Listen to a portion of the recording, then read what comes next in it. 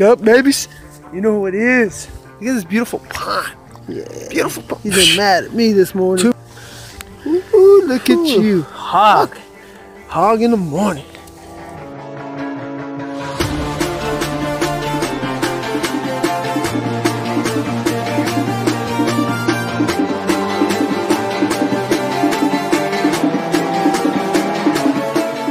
This is like number five.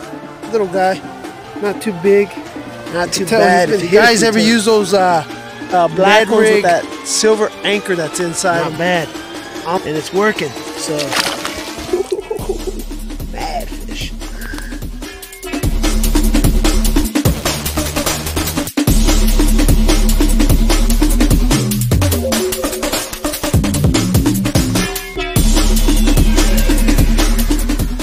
catching these little ponds out here at this little lake. Hey, I'll keep Hurricane can't stop fish. Number two Have out here at uh, Maynard's Pond, like we Hey, always do, and catch and release this little bad boy.